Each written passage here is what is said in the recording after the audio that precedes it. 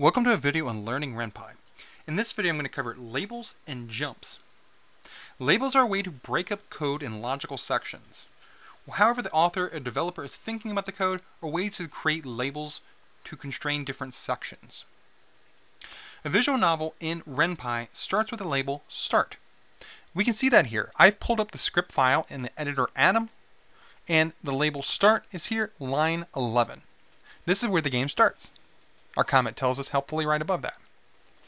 And as we saw, if we start this project, we see the very next line is line 19.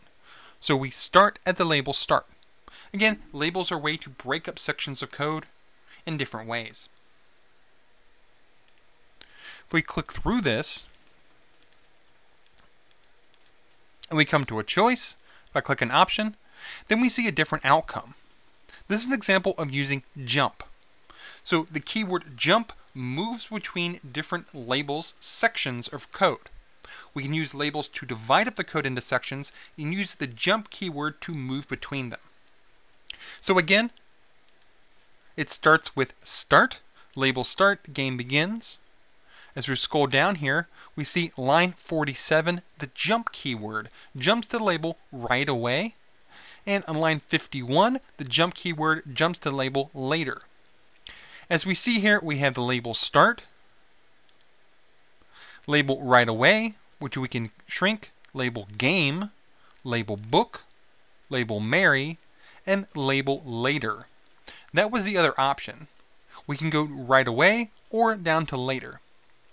In each of these sections here, we can see using the editor Atom, we can condense all of that code we can see the label start is from line 11 to 53. Label right away is 54 to 108. Label game is from 109 to 133. Label book 134 to 159. Label Mary 160 to 237. Label later 238 to 254. This allows us to shrink these, collapse them, as different sections of this game using the editor using the editor Atom. So we see coming back here our visual novel, our project in Ren'Py starts with the label start, then moves progressively down. So as we saw, we saw line 19 when it very first started. When we made a choice, we used the jump keyword to move between different labels. When we chose right away, we jumped here to line 54 and showed line 58, which is what we see here. However, if we had gone back and chosen a different option, we would have jumped the label later at the very bottom here. Starts on line 238. And we saw that text instead. And then it would remove progressively through this. At the end of any label, if the keyword return is found, this closes out the story and closes out the project. For example, if we click through this, we see bad ending, line 251. If we click one more time, return sends us back to the sender, in this case the main menu, which kicked off the story. We went use the start option go to the start label, ran through it, and whenever we ran into the keyword return within a label, it returned us back to the beginning. In this case, the main menu.